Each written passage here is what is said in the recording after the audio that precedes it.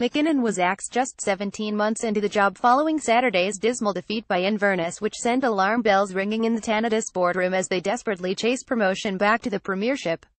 The Tangerines spent yesterday sounding out potential candidates to succeed McKinnon and it is understood 53-year-old Hughes is high on their list in their efforts to have a new man in the dugout for Saturday's crunch clash away to Dumbarton.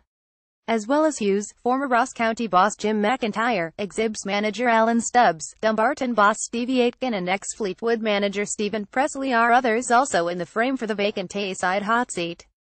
Hughes is known to have support within the boardroom and would be free to make a return to management following his departure from Raith Rovers at the end of last season.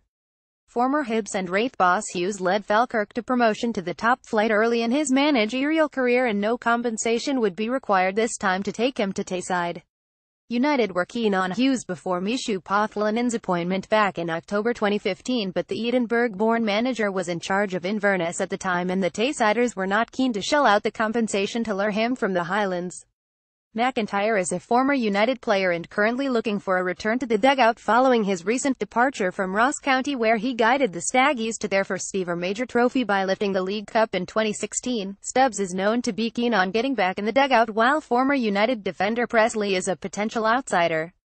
McKinnon was axed just hours after their abject Inverness display, having come to the helm in May 2016 to try to lead the Tangerines back to the Premiership following relegation